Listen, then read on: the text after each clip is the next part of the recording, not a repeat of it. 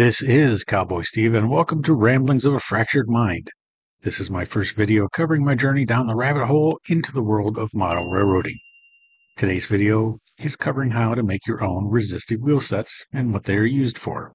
On the workbench is everything I'll be using today rolling stock or an axle with metal wheels, surface mount resistors, super glue, toothpicks, conductive paint, tweezers, and a small hand file. Exactly what are resistor wheel sets and why would you need them? Before we get into that, let's take a look at how electric model railroads work. There are two basic types of model trains, DC and DCC. Almost all model layouts today run on 12 volt DC power. DC trains have been around since my dad was a kid. They're pretty basic. You have a transformer that converts AC power from your normal household service to DC. Power is run from the transformer to the track via two wires, positive on one rail, negative on the other. Basically, you gradually increase the power to the track and the locomotive goes faster. Decrease power and the engine slows down. Reverse the polarity and the train runs in the other direction. DCC or digital command and control also runs on DC power, but is a lot more advanced. DCC runs power to the track just like DC, the difference is DCC can also send command codes through the track. These command codes feed information to each individual locomotive through a decoder mounted in the locomotive itself. The command codes instruct a locomotive to move forward, backwards, sets the speed, turns lights on, sounds the horn, etc. It also allows the use of multiple locomotives independently of each other on the same track. Resistor wheel sets are primarily for block detection on DCC layouts. Block detection is a way of tracking the trains on a layout. Many modern layouts are broken into blocks. Each block is electrically isolated from the other blocks. One way to track locomotives and rolling stock is to use block detection devices that detect any power draw in that block. The locomotives draw power, but what happens when the lead engines clear a block and there are still 40 cars in the previous block? One way is to add a resistor to one axle of each car and connect that res- resistor so track power flows through from one wheel to the other. For my cars, I'm using 10k ohm surface mount resistors. These are easily detectable by most block detection systems. So here is the anatomy of the wheel set. You've got the bushing here in the middle that separates the metal wheel from the metal axle. This is what we're trying to bridge. The bushing prevents the wheel sets from shorting the track. Only one wheel on each wheel set is insulated from the axle. Adding a resistor to bridge the bushing draws a trickle of power that block detection systems can pick up. On wheel sets with a metal wheel and metal axle, you want to attach the resistor right next to the insulator bushing. To complete the connection, we are adding a dollop of conductive electric paint on each end of the resistor. On some wheel sets, the bushing extends out from the metal wheel you may need to mount the resistor at an angle over the bushing. As you can see, I've spared no expense on my visual aids. Occasionally, especially with older uh, rolling stock, you will come across a wheel set that has metal wheels with a plastic axle. These can still be used. We just have to run the conductive paint along the entire length of the axle.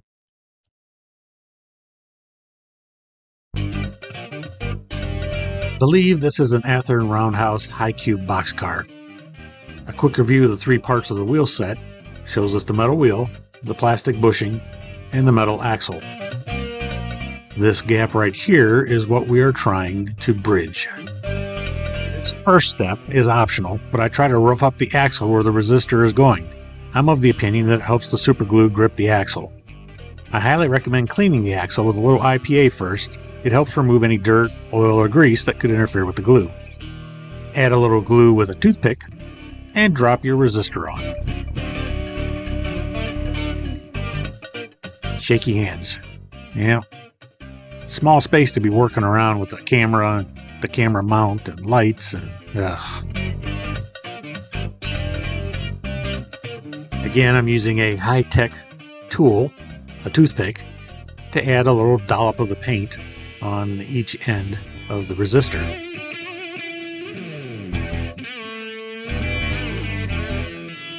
Now we can break out our handy dandy meter and check our resistance. Right now, it's at just under 11K. That's what you're looking for. If you check your resistance too soon, your conductive paint might not be dry and it's going to give you some elevated resistance numbers. Eventually, when the paint dries, it will come in at about the 11K. And there we go. In my somewhat limited supply of rolling stock, this is the closest thing I could come to showing a raised bushing and how to mount your resistor to bridge the gap around that raised bushing.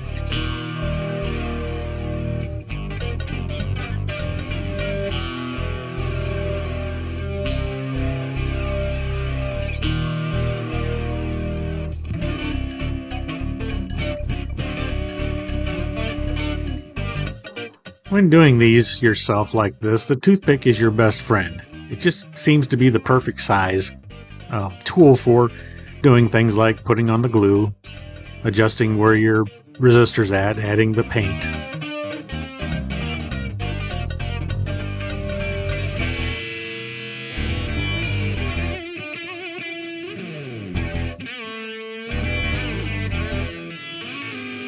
I'm really shaky with this because I'm trying to work around the camera and the camera stand, and which I think I've mentioned before. I pretty much had abandoned using the helping hands at this point because they just tended to get in the way more than they helped, once again because of the limited space we're trying to work around.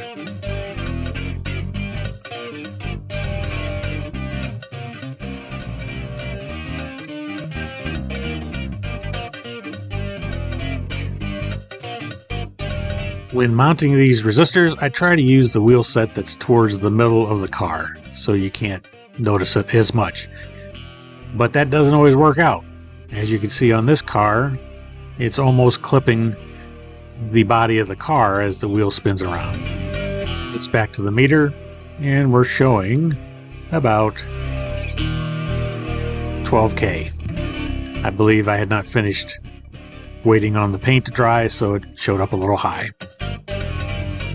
And last but not least, we have our wheel set that has metal wheels, but a plastic axle. So we're going to mount our resistor and we're going to have to run the paint the entire length of the axle to reach both wheels. Quit messing with it and just leave it alone.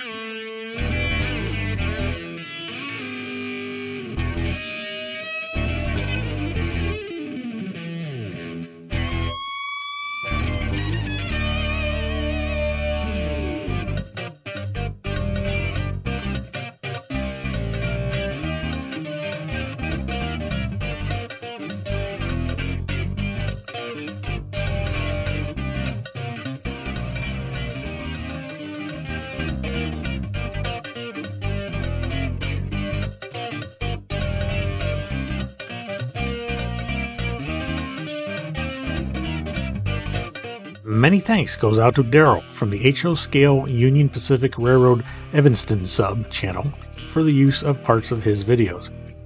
Whew, Daryl, that is a mouthful. On the lower left portion of the screen, you can see the dispatch panel display for Daryl's layout. The train on track 12 has been cleared into the throat of the staging yard by the dispatcher. As the train advances, you can see here where the throat changes to occupied on the dispatcher screen. In the interest of time, we're going to speed this up a little bit. If we look down at the dispatcher screen, which is how Daryl manages his operation sessions, you can see the individual blocks circled there. And the dispatcher has given this train the clearance to go through the next two blocks. And as he passes into the next block, you'll see it turn red showing that it's occupied.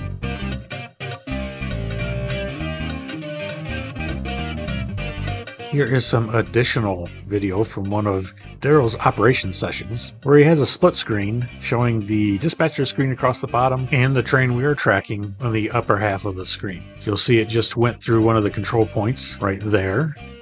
And in a second, it's going to move into this next one, and it's going to turn red as well. You'll notice behind it, the control points or blocks remain occupied. And that's because there's still cars back there. Daryl tends to run some pretty long trains, and it's not unusual for him to have multiple blocks occupied at the same time. That's the reason why we make these resistor wheel sets, is to help keep track of what's occupied on these blocks and what's not.